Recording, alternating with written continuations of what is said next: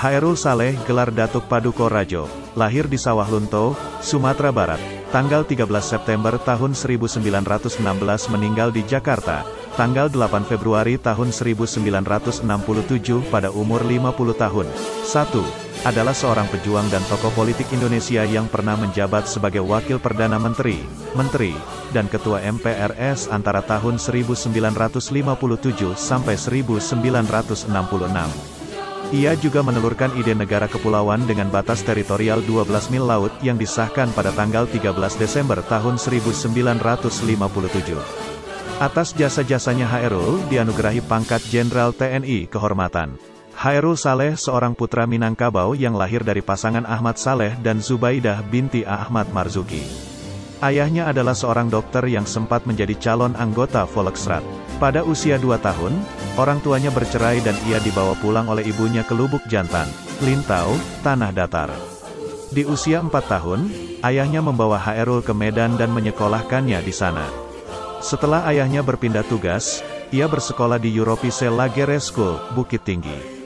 Lulus dari ELS ia pindah ke Hogre Berge School, HBS, di Medan.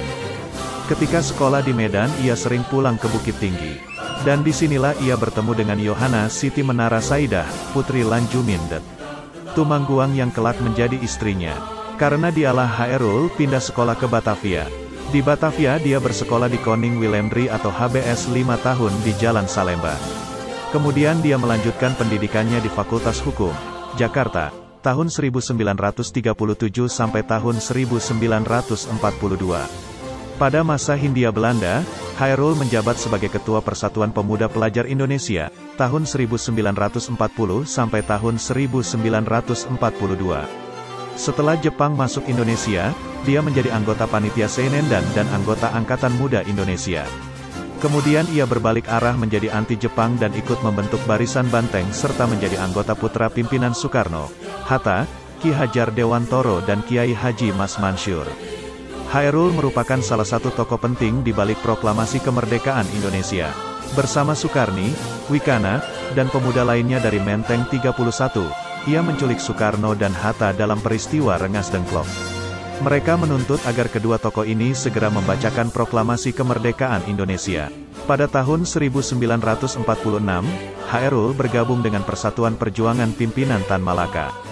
Kelompok ini menuntut kemerdekaan 100% dan berdiri sebagai pihak oposisi pemerintah. Oleh karenanya pada tanggal 17 Maret tahun 1946, beberapa tokoh kelompok ini ditangkap termasuk di antaranya Hairul. Pada tanggal 6 Juli tahun 1948, Tan Malaka mendirikan Gerakan Rakyat Revolusioner dan menunjuk Hairul Saleh sebagai sekretaris pergerakan. Setelah kematian Tan Malaka, Hairul bersama Adam Malik dan Sukarni berhimpun di dalam Partai Murba. Tahun 1950, Hairul memimpin Laskar Rakyat di Jawa Barat untuk menentang hasil konferensi Meja Bundar, KMB. Ia kemudian ditangkap oleh Abdul Haris Nasution dan dibuang ke Jerman. Di sana ia kemudian melanjutkan studinya ke Fakultas Hukum Universitas Bonn dan mendirikan Perhimpunan Pelajar Indonesia, PPI. Pada bulan Desember tahun 1956 sepulangnya dari Jerman, Hairul ditunjuk oleh pemerintah untuk menjadi Wakil Ketua Umum Legiun Veteranri. Satu tahun kemudian, ia masuk Kabinet Juanda dan menjabat sebagai Menteri Negara Urusan Veteran. Hairul dikenal sebagai tokoh sosialis yang cemerlang. Karena kepandaiannya itu ia beberapa kali menjadi orang kepercayaan Presiden Soekarno, dan sebagai penyeimbang tokoh-tokoh PKI di kabinet. Pada tahun 1959, ia ditunjuk sebagai Menteri Muda Perindustrian Dasar dan Pertambangan pada Kabinet Kerja I di Kabinet berikutnya, Kabinet Kerja II dan Kabinet Kerja III Hairul menjadi Menteri Perindustrian Dasar dan Pertambangan.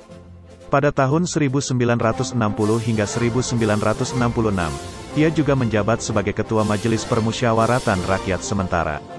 Sebagai orang kepercayaan Soekarno, Hairul memiliki keberanian untuk menantang lawan-lawan politiknya. Tanggal 3 April tahun 1961, Hairul berkeliling Sumatera Barat dan berpidato di muka umum. Ia menentang para pemimpin pemerintahan revolusioner Republik Indonesia seperti Natsir dan Syafruddin Prawira Negara, yang dianggapnya menyetujui hasil KMB.